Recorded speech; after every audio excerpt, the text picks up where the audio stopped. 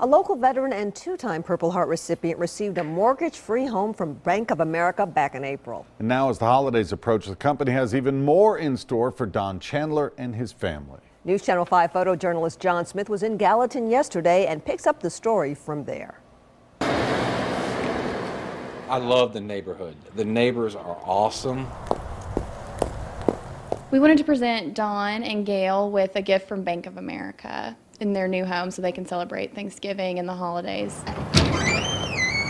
Hi.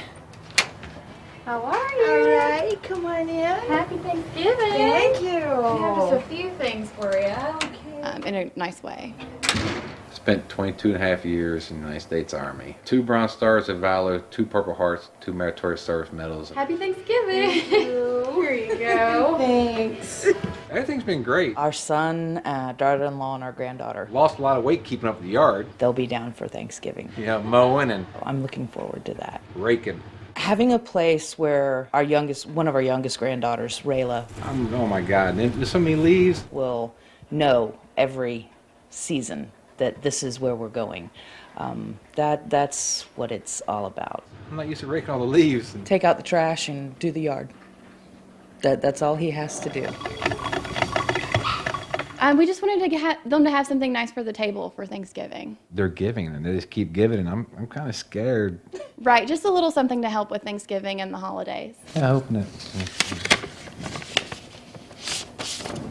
This Thanksgiving reminds us what happiness there is in simply being together. Totally unsuspected. It's a Visa card.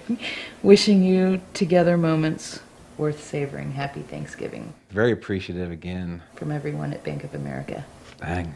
That's $250. Just wow. It's what we're going to be able to get with the gift card.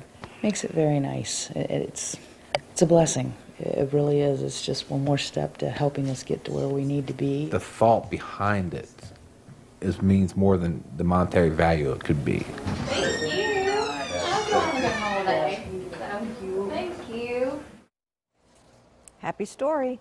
Don and his family aren't the only ones who'll be receiving holiday surprises. Bank of America will be donating several more holiday gifts to families who've received home donations. To date, the bank has given veterans more than 1,600 homes across the country.